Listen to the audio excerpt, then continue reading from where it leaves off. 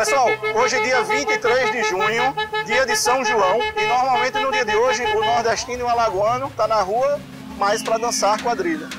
Hoje não, hoje os movimentos de direita se juntaram e vieram aqui para Fernandes Lima, pedir aos deputados estaduais que assinem um pedido da CPI da Covid, pedindo também o direito de retornar ao trabalho, que mais uma vez foi prorrogado o decreto, vamos chegar a mais de 100 dias sem poder produzir e sem ganhar o nosso pão. E também pedir à Polícia Federal que investigue todos os contratos das verbas que foram destinados pelo governo Bolsonaro para o Estado para o combate da Covid. É isso, estamos nas ruas, mobilizados, seja São João, seja São Pedro, seja Santo Antônio, seja o Natal. Continuaremos assim. Um grande abraço e até mais.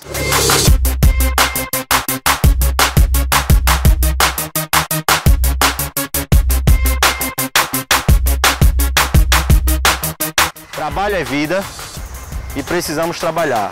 O governador Renan Filho não está trazendo nenhuma proposta enérgica para a retomada do, do, da economia alagoana.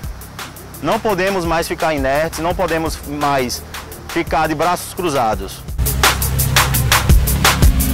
Está muito complicado. Pais de famílias aqui, donos de negócios, nós não conseguimos de forma nenhuma mas sustentar essa situação. Quem tem fome tem pressa.